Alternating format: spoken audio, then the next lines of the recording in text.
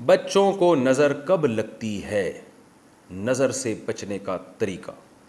क्या एक महीने के बच्चे को नज़र का असर हो सकता है या ये बेकार की बात है? अगर हो सकता है तो इसके लिए क्या करना चाहिए? शादाब कुरैशी, यूपी से।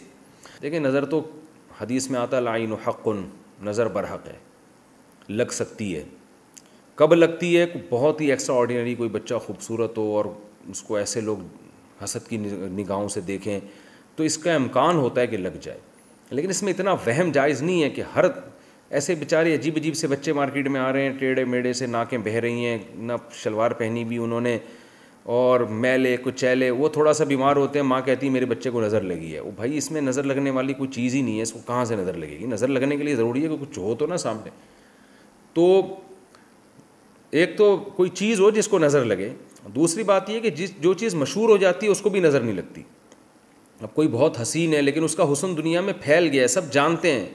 जैसे ये जो है ना, फ़िल्म फ़िल्मों के अदाकार होते हैं, या अदाकाराएँ होती हैं, ये लोग तो सिलेक्शन करते हैं चेहरे देख देख के। तो इनकी शोहरत मशहूर हो जाती है तो इनको लगने यानी इनको नज़र लगने का इम्कान कम हो जाता है। या जैसे किसी के पास दौलत है और वो मशहूर है, सबको पता है बड़ा सेठ है तो उसकी दौलत को नज़र लगने का इम्कान कम होगा। लेकिन ऐसे दौलतमंद को नज़र लगने का इम्कान ज़्यादा होगा जिसके पास अचानक दौलत आ जाए। यानी गरीब था, साइकिल से अचानक जना वो लैंड क्रोज़र पे आ गया। तो ऐसे नज़र लगने का इम्कान ज़्यादा होता है।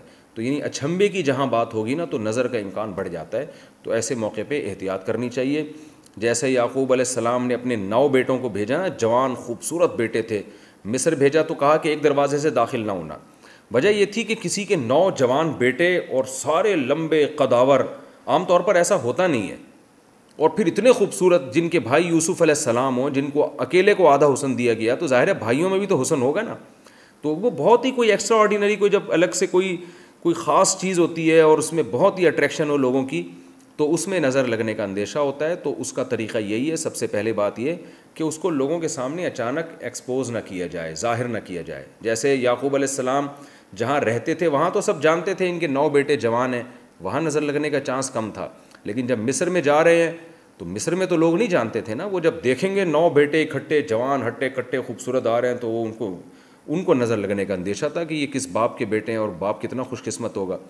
तो क्योंकि वहाँ लोग मरूफ नहीं थे इससे, मिस्र में। तो इसी तरह कोई भी ऐसी अचानक जिसमें कोई हुसन हो या कोई दौलत हो या कोई बहुत बड़ी नेमत हो तो उसमें नज़र का बहरहाल अंदेशा होता है। तो ऐसे मौके पे एक तो लोगों के सामने उसको आहिस्ता आहिस्ता ज़ाहिर करना चाहिए, दूसरा दुआओं का अहतमाम करना चाहिए। नबी सल्लल्लाहु अलैहि वसल्लम अपने जो हज़रत हसन हुसैन को को जो दुआ आप पढ़ते थे और हमें भी सिखाई है आऊद भी कलिमात तामा मिन कुल्ली शैतान वहामा व मिन कुल्ली आइन लामा इस दुआ का अहतमाम करना चाहिए। और रात को सोते हुए सूर फ़लक और सूर नास तीन तीन दफ़ा पढ़ के, अपने हाथ पे फूंक मार के पूरी बॉडी पे फेरना चाहिए वो हाथ। इससे भी नज़र से बचने का अहतमाम होता है। और बच्चे के ऊपर माँ बाप हाथ फेर दें या ये जो आउज़ भी कलिमात तामा वाली दुआ पढ़ के उसके ऊपर दम कर दें तो इससे इन हिफाजत होगी। बाकी अल्लाह पे तवक्ल करें, ज़्यादा इसमें वहमी नहीं बनना चाहिए।